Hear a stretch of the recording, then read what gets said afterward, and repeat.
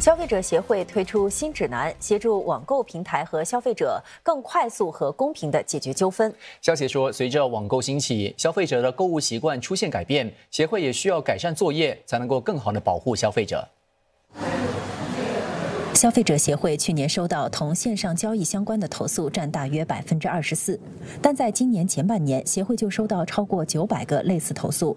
COVID-19 has accelerated shifts in consumer behavior.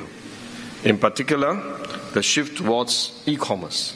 With the rapid growth of online shopping, case has seen a corresponding increase in the number of complaints relating to online transactions.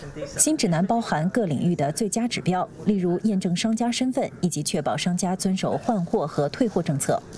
网购平台也需及时调解纠纷，在七天内处理投诉，并在合理时间内解决投诉。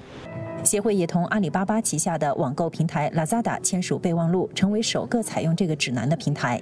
This is very timely, and it also sets the right level of expectations that can be applied to the rest of the industry.